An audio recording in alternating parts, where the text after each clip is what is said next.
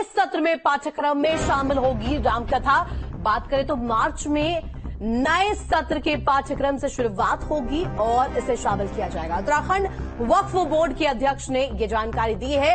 मदरसों में पढ़ रहे बच्चे भगवान राम जैसे बने, ये सीधे तौर पर किया गया है और कहा भी गया है। तो देखिए, ये कहीं ना कहीं गंगा, जमुनी, तहजीब को दर्शाता हुआ नज़र आ रहा बच्चे औरंगज़ेब नहीं, भगवान राम जैसे बने।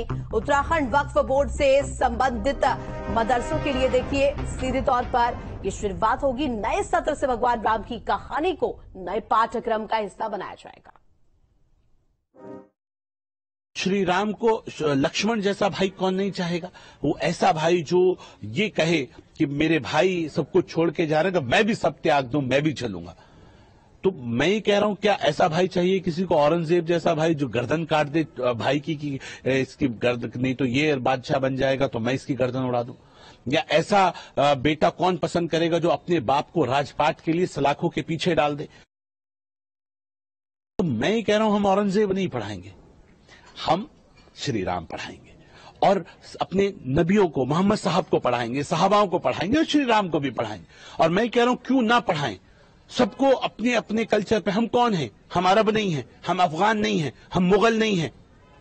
हम हिंदी हैं और हमारा डीएनए श्री राम से मिलता है।